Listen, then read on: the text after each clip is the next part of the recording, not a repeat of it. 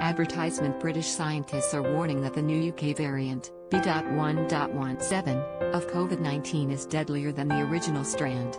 According to new studies, experts have determined that the new strand is likely associated with an increased risk of hospitalization and death compared to the first strand of the corona. Get push notifications with news, features, and more.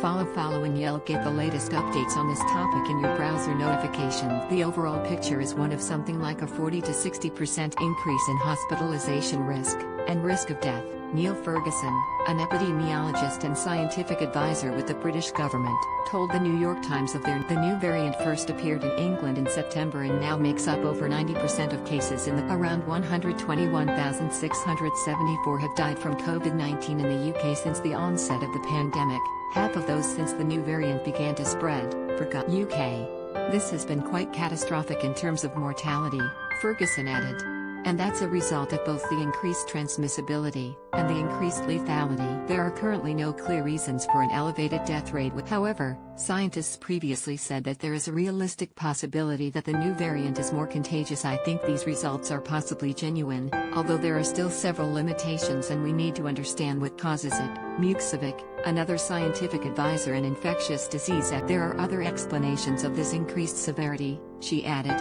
noting that it may transmit disproportionately in settings with fr- experts believe that the new variant is at least 30 to 50% more infectious. It has since spread to at least 82 other countries, including the United American officials believe that the new strand could become the dominant source of infection here by March.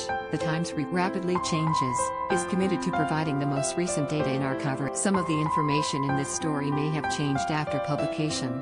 For the latest on COVID 19, readers are encouraged to use online resources from the has partnered with Go.